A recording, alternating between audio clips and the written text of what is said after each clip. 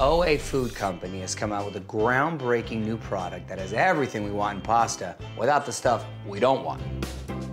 We're here at Cafe Maxx in Pompano Beach, Florida, and I'm with Chef Oliver Saucy. Hello. How are you? Nice to see you. Thank you very much. So what do you have today? Well, I have my new favorite pasta substitute, Okay. palmini pasta.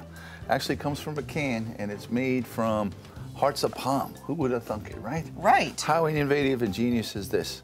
Very low sugar, very low carbs, and it really works on any pasta recipe that you have. Whatever your favorite pasta is, substitute this and you're good to go. First thing you want to do is go ahead and drain it. And I think that's all you really have to do is right there.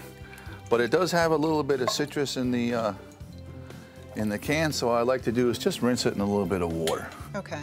Some you- like to soak it in milk or Yes, you- soy milk or whatever, but I don't think you really need to do it. I like it just like that. And I just kind of give But it a couple. But this is vegan. This is Totally vegan. non-GMO. Yeah.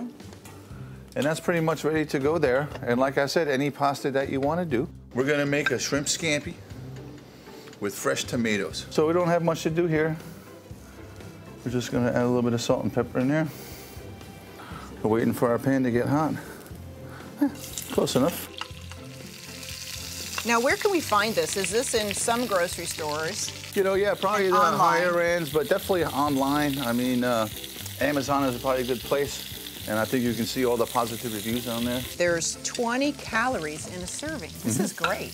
isn't it? And this could be like a summer dish if you want it, if you don't want to heat This the is kitchen. good all year long. So at this point here, we're going to add some chopped garlic into here. Wow. Good bit of garlic you want for scampi.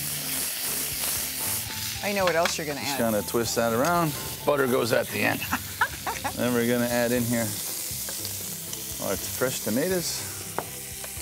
We're going to come with a little bit of white wine. Because we're going to add some lemon juice, and lemon juice has plenty of acidity. Okay. That's about a half of a lemon juice. Ah. So we're just going to kind of mix all that around. Look at the nice color there. Well, smells garlicky.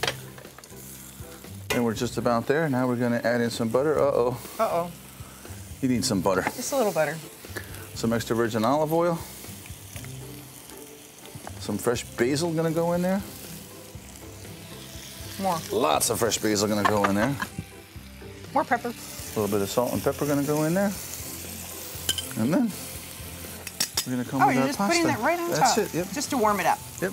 But doesn't that look nice? I mean, Yes. if you didn't know it, this would look exactly like Ex- linguine. Exactly. So we're just gonna arrange some of that down. We're gonna come with our shrimp. Finish it just the way you'd like to finish your pasta. You know, a little bit of Parmesan cheese, go right ahead. You wanna put a little bit of red pepper flake, go right ahead. A little bit of parsley. What are And you then, doing, uh, basil? Well, we got parsley, we got basil. And that's That- pretty much it. it. Is beautiful. And you can see that took, what, two, three minutes? That's how fast it is. No gluten. Gluten-free, virtually sugar-free. Mm. Isn't that Wow. fabulous? That's great. Palmini, hearts of palm. Who would think it? I know, genius. That's Absolutely great. genius.